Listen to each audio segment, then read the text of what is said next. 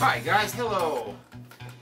I decided to do a quick test tonight between the the CCD sensor in my little Canon 780IS and the CMOS sensor uh, uh, in my Canon T1i in very, very, very low light conditions. Low light conditions. I just did two quick scenes. They're really quick, but I think it illustrates the difference between the two sensors.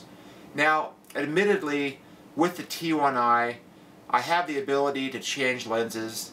Right now, with these videos, I am recording them with my 50 millimeter um, Canon f1.8 lens. I'm not sure if that has more to do with the the vast reduction or, or the vast improvement in the low light conditions or if it's the sensor itself. I, I think it has more to do with the sensor, but it could have some to do with the lens as well. So let's take a look real quick and see what happens. Alright guys, look closely at the extreme uh, quality difference between the 780 and the uh, T1i, the Canon T1i, in the image quality and the noise in the background on the wall. Amazing. Okay, here's one more test of the 780IS. See the noise in the background. This is just my main computer system, my Core i7-860 system. So you can kind of see the image quality. The only light source is a small desk lamp over here in the corner. The rest of the room's completely dark. So there's the image. Um, pay close attention to the noise because that's where a lot of the difference lies. Okay, and here is the T1i under the exact same lighting conditions.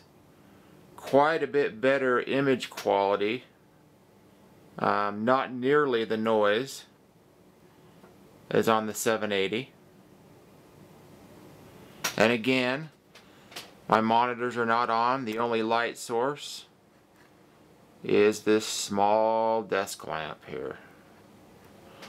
So, there's an example and pay close attention to the noise levels. It's, it's a striking difference.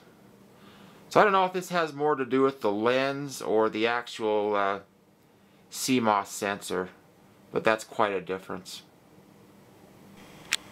Okay, now first, here is a wooden carved mallard in very low light conditions, and you can see some of the noise there on the wall.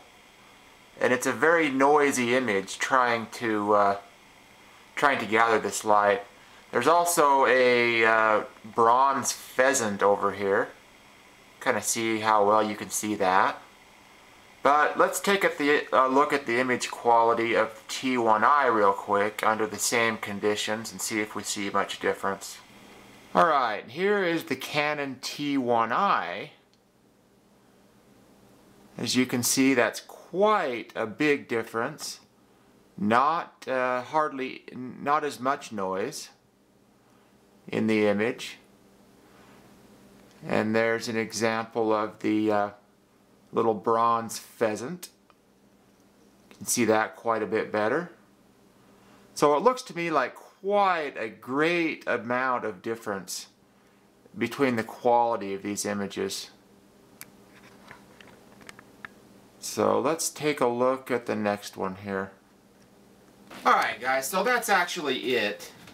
I just wanted to show those two um, low light um, condition shots at one subject from the exact perspective and the exact lighting. And as you can see, the uh, CMOS sensor in the DSLR kicks the living crap out of the CCD sensor.